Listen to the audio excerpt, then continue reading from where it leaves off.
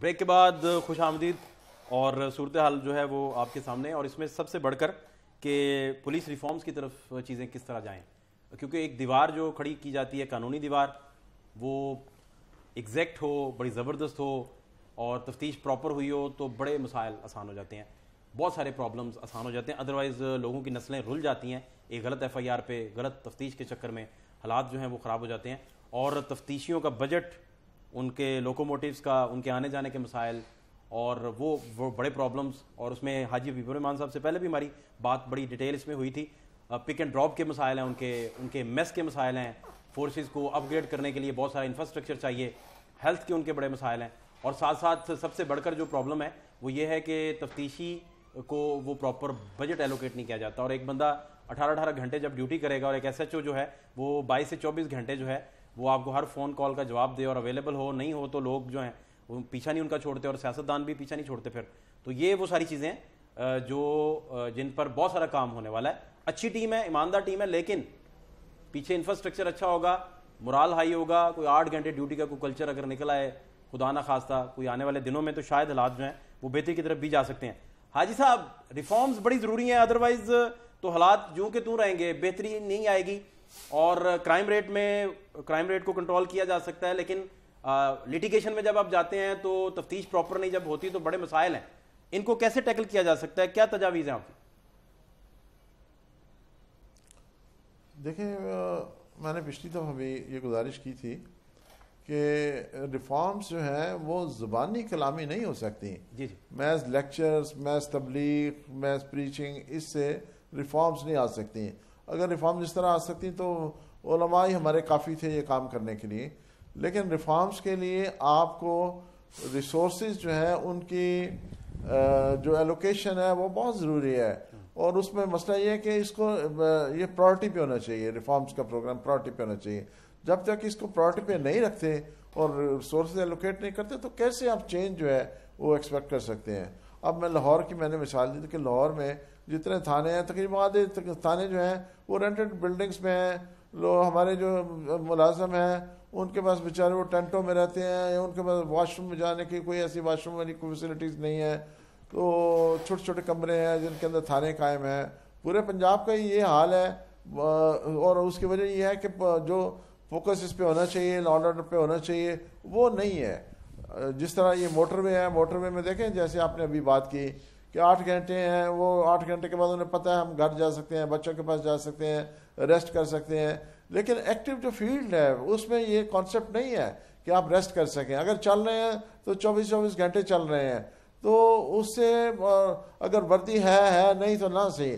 اگر کنوینس ہے، نہیں تو نہ صحیح۔ اور یہ کنوینس جو ہے انویسٹیگیشن وغیرہ کے لیے تو کنوینس بہت ضروری ہے۔ لیکن یہاں ٹرانسپورٹ کے مسائل ہیں کلودنگ کے مسائل ہیں۔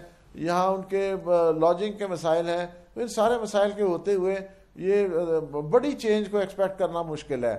جیسے ہم ہم نے ہم نے اس بات کو انالیسس کا کیا کہ کتنی پاپولیشن ہے پنجاب کی کتنی پاپولیشن ہے پاکستان کی اور یہاں کتنی نفری ہے۔ Visa wise New York visa wise New Delhi یہ ڈھاکہ سارے ہم نے کیا۔ اور یہ پورا جو کانٹیننٹ ہے بلکہ میرا خیال جتنے ڈیولپڈ یا سیمی ڈیولپڈ کنٹریز ہیں، ان سب میں پیچھے لیگ بہائنڈ کرتا ہے تو پاکستان کرتا ہے۔ اپنے ریسورس اپنی اس کے جو اسٹرینتھ کے حساب سے۔ اسٹرینتھ بہت کم ہے جو ہے۔ اور اسٹرینتھ اس لیے کم ہے کہ پیسے نہیں ہیں تنخواہ دینے کے لیے۔ پنجاب کا بجٹ ہے، وہ آپ تو پتہ نہیں، اب تو میرے زمانے میں تو ستر ارب بجٹ تھا اور سکسٹی نائن اس میں سے چلے جاتا تھا تنخواہوں پہ۔ تو ایک ارب بچتا تھا ڈیولپمنٹ کے لیے۔ اب ڈیولپمنٹ کے لیے ایک اب ارب اگر بچتا ہے تو کتنے پروجیکٹس ایٹ اے ٹائم چل رہے ہوتے ہیں؟ تو کس طرح آپ ان میں جو ایلوکیشن کر سکتے ہیں؟ یہ بڑے مسائل ہیں یہاں پہ۔ بالکل صحیح۔ شبال بھائی لیکن میں تھوڑی ایک بات کی تصحیح کر دوں۔ میرا مقصد کسی ادارے کی ہر گز جو ہے وہ تصدیق کرنا نہیں تھا جی۔ لیکن وہ جو ایک تلخی جو پنپ رہی ہے کہ مجھ جیسے پولیٹیکل ورکر کے اندر کہ جس نے مشرف دور کے اندر جو ہے پہلے اینٹی ٹیررس کوڈ جو ہے وہ بھگتی ہوں۔ صرف میرا قصور یہ ہو کہ میں ایک پولیٹیکل ورکر ہوں اور میرا قصور صرف یہ ہو کہ جس پارٹی کا میں لائل ہوں ان کو انصاف دلانے کے لیے مجھے آج بھی جو ہے وہ سڑکوں کے اوپر جو ہے وہ آنا پڑے مجھ جیسے ہزاروں پولیٹیکل ورکر کو تو آنا پڑے۔ اور یہ یہ وہ تلخیے ہیں کہ جس کی بنیاد کے اوپر جو ہے کہ پہلے ہم یہی رول جو ہے وہ اینٹی ٹیرسٹ کوڈ کا دیکھتے تھے اور آج بدقسمتی سے نیب کا جو ہے وہ رول جو ہے وہ ہمارے سامنے آ رہا ہے تو اس وجہ سے ہمیں یہ بات کرنی پڑتی ورنہ ہمارا۔ مقصد ہرگز یہ نہیں ہے۔ کہ خدا نہ خواستہ اچھے برے۔ لوگ ہر جگہ موجود ہوتے ہیں۔ اور اس قوم کو جو ہے وہ عدالتوں کے فیصلوں سے ہی کئی دفعہ جو ہے وہ ہم سرخرو ہوئے ہیں وہ چاہے بلدیات کے بارے میں ہو کوئی اور فیصلے بڑے تاریخ ساتھ فیصلے ہیں جس سے نواز شریف صاحب کا ریسٹور ہونا بھی جو ہے وہ اسی۔ عدالتوں کی وجہ سے ہوا ہے تو گل اس۔ طرح کی کوئی بات نہیں ہے گل لیکن۔ جمہوری دور کے اندر جب یہ کردار سامنے آ رہا ہو نیب کا تو پھر آپ یہ کہیں کہ ہمارے اندر ایک تلخی نہ ہو اور ہم اس پہ یہ بات نہ گل کریں صاحب پچھلے پانچ سال نیب نے کسی کو نہیں پکڑا آپ کی حکومت میں گل صاحب میں نیب گل نے صاحب- پچھلے پانچ سالوں میں آپ کی حکومت میں کسی کو نہیں پکڑا میں کہتا ہوں کہ کیا ہی اور جن کو اچھا- پکڑا کیا اچھا وہ سارے کے سارے گناہگار بالکل تھے؟ ایک ادارہ ملک کے اندر ایک ایسا موجود ہونا چاہیے پیپلز پارٹی کے ساتھ کیا ہوا؟ کیا موجودہ- کام جو ہے وہ ہر وقت پیپلز پارٹی کے ساتھ ڈاکٹر عاصم حسین اور موجودہ چیپٹر کے ساتھ کیا کیا ہوا؟ نیب کو آپ کی حکومت نے آپ کی پارٹی نے خود گل اس صاحب عہدے پر نہیں بٹھایا گل تھا صاحب یہ بتائیے۔ نا گل صاحب ایک بڑی مزدار بات وہ بتائیں آپ جی۔ گل صاحب بات یہ ہے کہ نواز شریف صاحب کو ذاتی طور پر آپ کے نام میں کسی کا نہیں لینا جا رہا۔ بہت قریبی جو ان کے تھے، وہ بار بار کہتے تھے کہ اس قانون میں بہتری لے کے آئیں۔ اور دو ہزار آٹھ سے لے کر تیرہ تک جو ہے، پیپلز پارٹی براجمان تھی۔ تیرہ سے لے کر اٹھارہ تک آپ لوگ براجمان تھے۔ نہ نیب کو انڈیپینڈنٹ کرنے کے لیے جو پانچ لکوناز ہیں، ان کو فل کیا گیا بجٹ سمیت۔ نہ اس کے قانون کو ریویو کیا گیا، نہ ان کو معاملات کو بہتر کیا گیا۔ اور حکومت آپ کی۔ اور اس دور میں پیپلز پارٹی کے ساتھ کیا کیا ہوتا رہا، جو ڈیال صاحب فرما رہے ہیں۔ تو اب آپ اٹھ کے دیکھیں اب آپ دیکھیں اب اٹھ کے گل صاحب دیکھیں۔ جو چیزیں ہوئی ہوئی ہیں وہ بھی کنٹرول میں کسی کے چلے جاتی ہیں تو پھر کیا ہے؟ اب یہ نہ آپ کی حکومت ہی نا آپ بتائیں نا آپ کی حکومت نے کیا کیا؟ نیب نیب اصلاحات کی آپ آج بات کر رہے ہیں۔ نیب آپ نے reforms میں پانچ کیا سال میں کیا؟ کیا کیا تھا؟ اللہ کرے اللہ کرے آپ کو کچھ کر اس چیز سے نہ گزرنا پڑے جس قرب سے ہم گزر رہے ہیں ورنہ پھر میں اس دن آپ سے ڈیال صاحب یہ سوال ضرور کروں گا۔ کہ آج آپ کس قرب سے جو گزر رہے ہیں اور گزرنا پڑے گا آپ کو؟ گل صاحب آپ بدواؤں میں آئے اتر گا آئے کہ اس سے گزرنا آپ۔ بدواؤں میں اتر آئے چاہے آپ ڈیال صاحب کو تھریٹ کر رہے ہیں بدوائیں دے کے خان صاحب یہ نہیں اور کہہ رہا۔ اور پاکستان جب کہیں تحریک اور انصاف کی کسی قیادت۔ کے اوپر وہ عمر رکھیں گے نا کسی کے سر کے اوپر تو پھر آپ دیکھنا پڑے گا کہ ان سب نام چیزوں سے گزرنا پڑے گا۔ آپ بتائیے کون آپ رکھے چاہتے ہیں ڈیال صاحب ان کو ہتکڑیاں لگ جائیں آپ کو گل صاحب کڑی آپ نام لینا شروع کر دیتے ہیں کہ نہیں، نام لیں۔ گل صاحب کو نہ کچھ کہیں۔ نہیں ہمارے لیے نہیں ہے۔ مشرف دور کے اندر پنجاب کی کوئی جیل ہوگی جو ہمیں بغیر کسی جو ہے وہ جرم کے نہ دکھائی گئی اور شدید ترین تشدد کا نشانہ ہمیں جو ہے وہ نہ بنایا گیا ہو۔ یہ یہ بات نہیں، ہے نہیں، گل صاحب، بھائی۔ آپ نے بڑی بہت کی ہوئی کچھ- ہیں۔ اور میں اللہ کو گواہ بنا کر کہتا ہوں کہ ہمیں سب دیکھا ہوا ہے۔ اگر کسی جرم کی کسی کرپشن کی پداش کے اندر یہ سب کچھ مجھ سمیت ہزاروں لاکھوں پولیٹیکل ورکر کے ساتھ ہوتا ہو تو پھر کوئی بات نہیں تھی ہے لیکن ہمارا جرم صرف یہ ہوتا ہے کہ ہم پارٹیوں کے ساتھ اور اپنی لیڈرشپ کے ساتھ جو ہے وہ لائل ہوتے ہیں آپ دعا کریں کہ آپ۔ کی لیڈرشپ کے اوپر بھی کوئی جرم نہ ہو نا وہ بھی بتا دیں نا آپ ورکرز کی بات کر رہے ہیں۔ ورکر تو پروٹیسٹ میں جا رہے ہیں کوئی چیز ثابت تو نہیں ہو سکی ان کے اوپر اور۔ لیکن جس اس کے اندر سے گزارا گیا پھر بات ادھر ہی آ گی عدالت سے سزا مل چکی ہے اپیل پینڈنگ ہے۔ آپ لوگ عدالتوں کا سامنا نہیں نہیں نہیں آپ میری بات سنیں۔ علیمہ بی بی کی بات کر لیں کہ وہ ثابت ہو گیا ہوا ہے اب نام ان کا لسٹ میں آ گیا ہوا ہے۔ کہ آپ ابھی مدینہ کی ریاست میں کیا ہی اچھا۔ ہو۔ کہ اگر جو ہے وہ ابتدا ادھر سے ہو جائے۔ آپ ابتدا کریں نا آپ بلائیں نا اپنے وہ لوگ جو عدالتوں کا سامنا نہیں کر رہے باہر بھاگ گئے ہیں۔ آپ ان کو بلائیں؟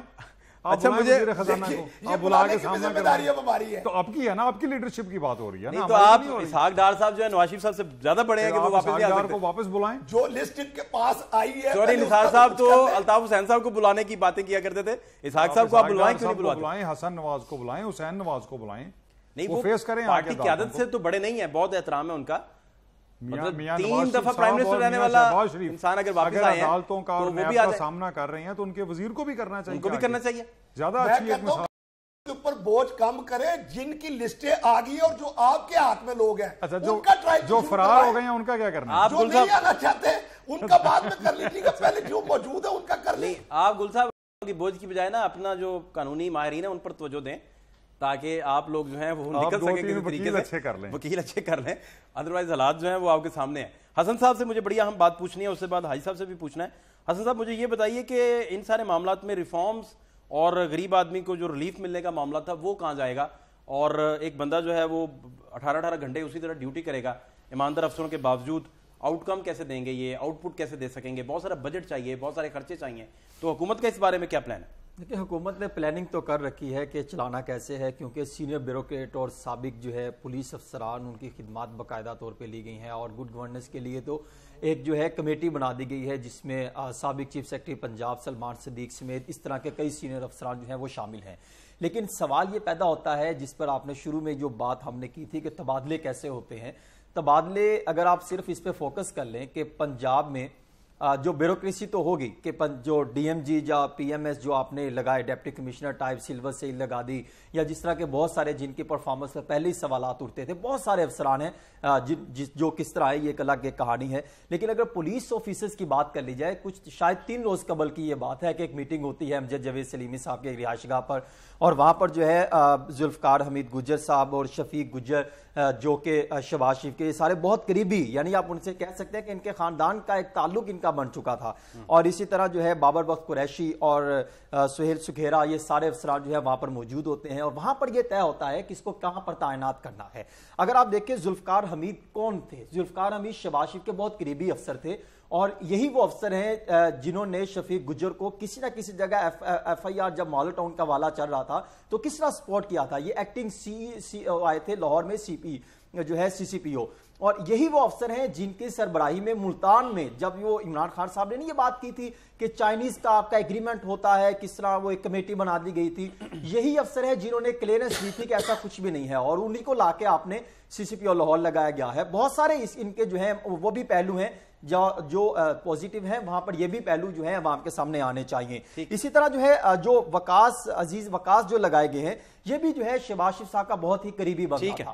یہ ان کے لگتے رہے ہیں۔ اسی طرح جو ہے کچھ افسران جونیئر جو ہے وہ عام سیٹوں پر لگائے گئے ہیں۔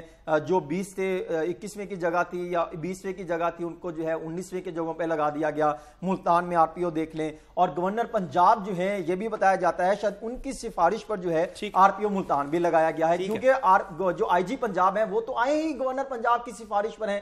اور اسی طرح جو ہے ان کو تبدیل کیا گیا تھا۔ اس سے پہلے تو کیوں گئے تھے ناصر خان درانی معاملہ چھوڑ کے؟ ٹھیک ہے عوام کے جتنے بھی ریپرزنٹیٹیوز ہیں عوامی لوگ جتنے بھی ہیں ان میں جب آپس میں بے شمار تلخیاں جو ہیں وہ بڑھ جائیں گی اور لب و لہجے ان کے تند و تیز ہو جائیں گے تو اس طرح جو ہیں بہت سارے مسائل مزید بھی جنم لیں گے۔ اور سیاسی بحران اسے نہ کہیے رویوں کا سیاسی بحران ضرور ہے جس کا سامنا سب کو کرنا پڑ رہا ہے۔ شارٹ بریک ہمارے ساتھ رہی